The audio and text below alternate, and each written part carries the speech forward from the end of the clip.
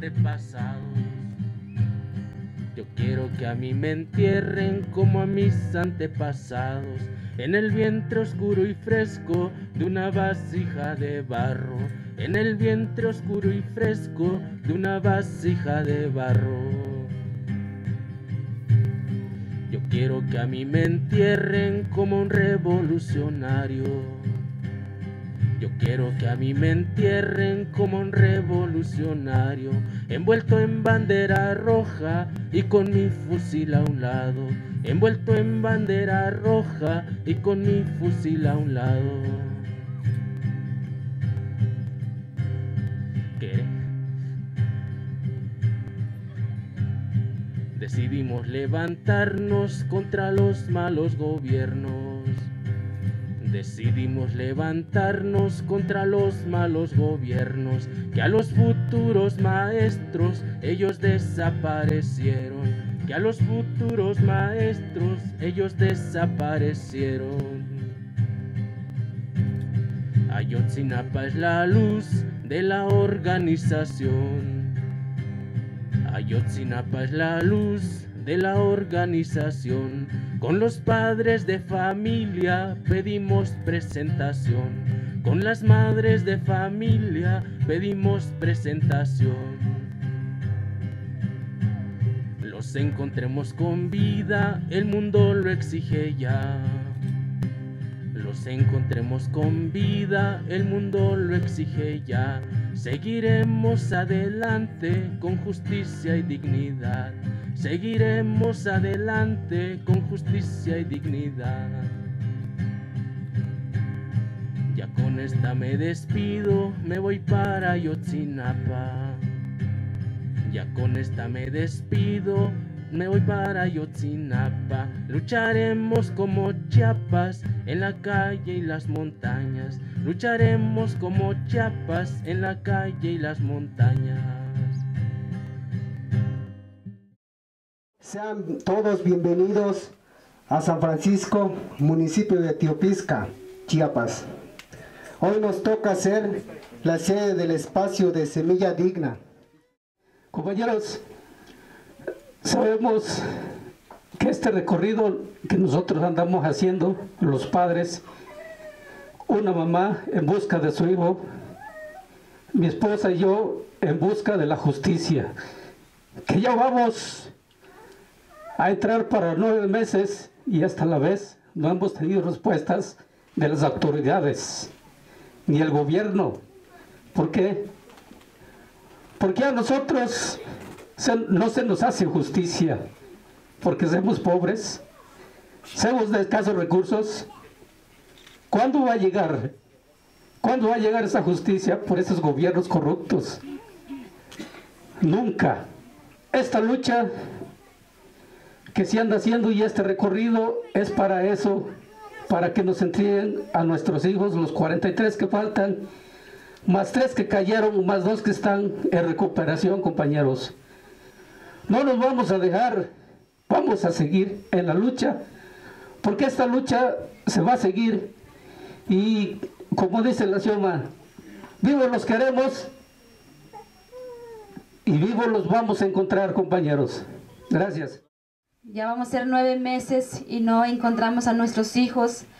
Estamos en busca de ellos porque sabemos que el gobierno los llevó. Pues vamos a seguir luchando. No vamos a quedar callados como padres y madres de familia. Tenemos que exigir al gobierno que nos entreguen a nuestros hijos porque sabemos muy bien pues que él, quién sabe de dónde los tendrá. Todos juntos vamos a lograr a que nos regresen a nuestros hijos. Sabemos que no estamos solos, que nos están apoyando, aunque muy lejos no pueden estar con nosotros, pero están haciendo ruido. Y eso pues les pido como mamá, eh, que sigan haciendo ruido, a que se dé cuenta el gobierno que no estamos solos. Y eso les pido como mamá y que nos sigan apoyando. Bueno, gracias.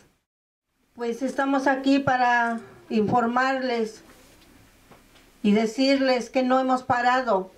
Día a día nosotros seguimos pidiendo apoyo buscando más fuerza, más unión con las demás este, organizaciones para ver si de esta forma Peña Nieto pues nos devuelve a estos muchachos, porque sabemos que fue el Estado, sabemos que él los tiene. Están también otros compañeritos aquí en Oaxaca que nos comentaron que igual bajaron a sus esposos de los camiones, los golpearon y que se los llevaron a la cárcel, los encerraron. Pero que antes de todo eso que les dijeron, que tuvieran mucho cuidado porque les iba a pasar lo mismo que a nuestros 43 muchachitos. Y pues sí, los papás o las esposas también, hermanos, pues sí tienen miedo. Y yo les dije que no tengan miedo, porque si tienen miedo le están dando más fuerza al gobierno, porque es lo que le gusta, que le tengamos miedo. Y al menos de nuestra parte, de los 43 padres de familia, pues no tenemos miedo. Y vamos a seguir buscándolos. Yo como se los he dicho siempre, cada vez que salimos, porque nuestro Tiscla ahora resulta que es del gobierno, ahora resulta que tenemos militares en todo nuestro cerrito. Resulta que ahora no somos libres ni en nuestro propio pueblo. Si nos quieren matar adelante, pero nosotros vamos a salir de nuestro lugar, vamos a seguir con nuestras actividades, pues si lo quieren hacer adelante, que lo hagan. Pero eso sí, que sepan bien que el mundo entero está bajo la lupa de ellos que los está observando. Pues aquí seguimos para decirles que seguimos en pie de lucha y no nos rendimos. Nos hemos encontrado con muchas personas alrededor del país y en el mundo que también están luchando por sus territorios, que también están luchando por sus recursos naturales, por sus manantiales de agua, por sus bosques. En todas partes ocurre lo mismo. En todas partes los capitalistas los gobernantes reprimen y despojan a las comunidades rurales de sus territorios. Así como muchos de ustedes defienden la tierra, los padres de familia y nosotros como Ayotzinapa estamos defendiendo nuestra, nuestra dignidad. Queremos encontrar a nuestros compañeros. Porque el Estado mexicano nada más finge que investiga. No, nunca ha investigado bien. Por eso nosotros no le creemos al Estado mexicano. Y no le creemos porque le quiere echar la culpa al narco. Y no es que nosotros defendamos al narco. Aquí seguramente culpan a las comunidades de que Chiapas no progrese. Siempre encuentran culpables. Cuando los culpables son ellos. Son los gobernantes, los ricos que despojan a la gente de sus territorios. Nosotros queremos encontrar a nuestros compañeros. Y así han pasado ya casi nueve meses. Nueve meses que no han sido fáciles. Ha habido problemas al punto de casi llegar a los golpes entre padres de familia. Pero siempre ha prevalecido el acuerdo de que vamos a continuar juntos. Porque eso es lo que busca el gobierno, dividir. El gobierno siempre dividir. Es mentira que el movimiento va cada vez para abajo. Es mentira a pesar de que ya no llenamos el zócalo, a pesar de que la misma gente ya no sale a las marchas. Eso no nos importa porque nosotros no nos contamos por números. Nos contamos por las relaciones que hemos establecido con las organizaciones, con los pueblos, con la amistad que hemos hecho con otras luchas. Y eso es lo que vale. El gobierno podrá decir lo que quiera, pero estamos creciendo en organización porque lo que queremos, aparte de encontrar a nuestros compañeros, también es cambiar este país, transformarlo. Lo que han padecido ustedes, ahora lo padecemos nosotros. Las matanzas que se dieron en estas tierras, las desapariciones, la prisión política, todo esto lo hemos conocido, a pesar de que no queríamos conocerlo. Y ahora no solo lo conocemos, también lo enfrentamos con lucha y queremos enfrentarlo junto con ustedes. Gracias.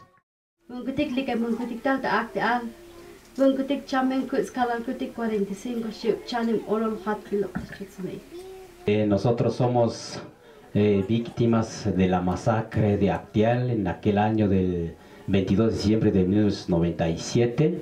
Hemos sufrido, hemos vivido todos los que han hecho el gobierno, eh, nosotros también pues eh, se ha muerto 45 de nuestros hermanos y más cuatro niños que aún no han nacido. Entonces nosotros vamos a seguir luchando. No hemos encontrado la justicia. No hemos, eh, no nos ha entendido, no, no nos ha comprendido nuestra petición el gobierno. Pero sí vamos a seguir y nunca vamos a desanimarnos hasta que encontremos la justicia. Les pedimos también que a ustedes que no se desanimen y que no, que no tengan miedo, pues aquí estamos también, vamos a seguir luchando juntos y no tengamos miedo y somos bastante y aquí estamos también con ustedes. Entonces nada más es mi palabra, gracias, dice la compañera. Gracias por la coordinación del Congreso Nación Indígena en esta región del estado de Chiapas y ahora lo estamos volviéndonos como hermanos, como vecinos, como amigos. Lo que está pasando en diferentes nuestro, nuestro estado de la República nos unen cada vez más. Después de Acteal, ¿sabes qué nos dijeron ahí? La sociedad civil, las abejas, se pusieron muy vivos, llegaron a traer muertos en otra comunidad, llegaron a amontonar aquí en Acteal para que nos para que nos culpan a nosotros, decía el gobierno. Así como lo están haciendo ahí, recogiendo huesos y entregándoles. Y no es eso. El otro dice, la muerte de Artial es un enfrentamiento entre religiosos. Eso es lo que nos han dicho. Ese gobierno federal y estatal son muy mentirosos. Confiamos a Dios, no al hombre ni al dinero. Es nuestro defensor. La fuerza de nuestro corazón, andar con esto la palabra, no con las palabras de los candidatos, ni diputados, ni senadores, ni el gobierno federal este, estatal elegidos, ni presidentes municipales. Esos son asesinos, son mentirosos, son corruptos. Por esta razón hay que echarle ganas, con los pies puestos en la lucha y con los corazones, con el pensamiento fuerte así y con más unidades, hay que aprender a luchar. Hay que aprender a defender nuestra tierra, defender nuestro derecho, defender nuestra dignidad. Hay que aprender a todos y a todas. No queda más que nada, hay que organizar. Y también hay que eh, abrir más fronteras, crear más puentes para correr las voces como lo están haciendo los compañeros de Ayotzinapa para que todo el mundo pueda escuchar, entenderlas, saberlas. Somos portavoces en cada organizaciones, cada problema que surja, donde quiera que estemos, estamos echando la mano unos a los otros, en documentaciones, en conferencia, en ayuno y oración, en todo, estamos en pie en la lucha. Muchísimas gracias. Hemos venido a presentar ante ustedes como compañeras de lucha, a compartir también los momentos difíciles que hemos pasado con la represión de los malos gobernantes. Los compañeros de Actial ya hace año sucedió al igual que hoy los compañeros de Ayotzinapa. Si no unimos nuestras fuerzas, si no alzamos nuestra voz, ¿qué será de nosotros de mañana? Recordamos ese día 22 de julio del 2008, día en que fuimos reprendidos por el mal gobierno, reprendidos fuertemente con golpes, con órdenes de aprehensión, unos compañeros caídos, unos compañeros golpeados. Pero vemos que el mal gobierno no se tienta el corazón para hacer estas cosas. Claramente, él no lo hace, manda a su gente preparada, al igual que los compañeros de Acteal. Manda gente preparada, para militares, para poder chingar a los demás compañeros a través de esas agresiones hemos venido a, hemos venido aprender a luchar y cómo defender lo que es nuestro. Hemos venido aprendiendo también que estar unidos todo se puede. Porque en ese día valientemente nuestras compañeras, en especial ellas, enfrentaron este problema fuertemente. Ellas fueron las que resistieron los golpes, los insultos, Compañeros y compañeras de Ayotzinapa, traigo unas palabras también de mi comunidad para ustedes. Pero queremos decirle, compañeros, que no están solos. Aquí estamos nosotros. Aquí está este pueblo. Aquí está este estado de Chiapas. Aquí está esta organización con ustedes. que no callaremos, nuestra voz jamás será callada. También pedimos, si esta palabra puede llegar a los malos gobernantes, la libertad a los presos políticos injustamente encarcelados. También pedimos respeto a la madre naturaleza que han luchado defendiendo a los compañeros de San Sebastián Bachajón. Así también, también pedimos respeto, respeto definitivo en tierras y territorios de nuestras comunidades indígenas. Queremos compartirles que su dolor es nuestro dolor, que su rabia es nuestra rabia. Este acto de verdad muy cruel lo que ha pasado en, en sus familias. Está quedando bajo conciencia de aquellos que están arriba de ese sistema capitalista, corrupto, que solo sirve para, para destruir, dividir a nuestras comunidades, pueblos indígenas. También queremos compartirles nuestra lucha como comunidad, que hemos estado en la resistencia por nuestra madre tierra. En el 96 empezó el sufrimiento, ahora sí el choque de, de, de la organización Emiliano Zapata, OCE Región Carranza. Empezamos a, a vivir sufrimientos, amenazas, golpes, violaciones a nuestros derechos, por una razón, por no estar organizados. Ahora nos damos cuenta que nuestra voz no era escuchada. Las autoridades correspondientes han sido corruptas totalmente. Nunca dieron solución a nuestro problema. Esta forma de vida que trae el mal sistema nos hizo organizar. En esta temporada estamos en un proceso, en una etapa de proceso de diálogo. Sí, porque nuestras tierras nos corresponden. Sí, porque en un primer momento, en el 2004, quisimos llegar a unos buenos acuerdos con esta organización partidista. Al año, en el 2005, vuelven a, entrar a invadir otra vez el derecho de nuestros compañeros. Entonces es el momento cuando dijimos, ahí sí ya no se va a poder. Queremos decirles a compañeros de Ayotzinapa, familiares, madres, su, su lucha es nuestra lucha, su dolor es nuestro dolor, su esperanza es nuestra esperanza. Porque vivos se los llevaron, vivos los queremos. Pobres estamos todos, sin un pan para comer, porque nuestro pan lo gasta el patrón en su placer.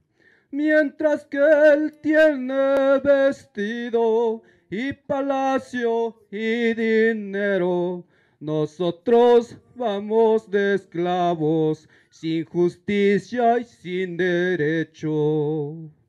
Nosotros sembramos todos y todo lo cosechamos, pero toda la cosecha es para el bien de los amos. Nosotros sufrimos todo, la explotación y la guerra, así nos llaman ladrones, porque pedimos la tierra. Y luego los padrecitos nos echan excomuniones. ¿A poco piensan que Cristo era como los patrones? Compañeros del arado y los de toda herramientas, no más nos queda un camino, unirnos manos con manos.